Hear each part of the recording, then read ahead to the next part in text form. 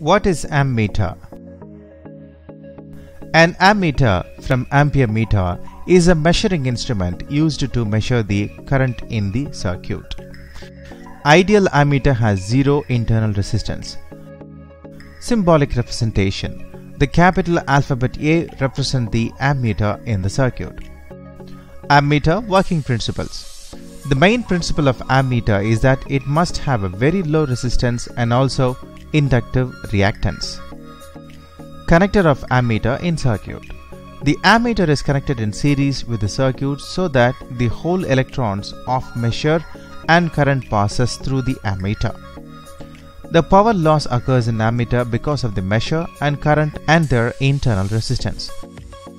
The ammeter circuit has low resistance so that the small voltage drop occurs in the circuit. Types of ammeter Moving coil, moving magnet, electrodynamic, moving iron, hot wire, digital, integrating.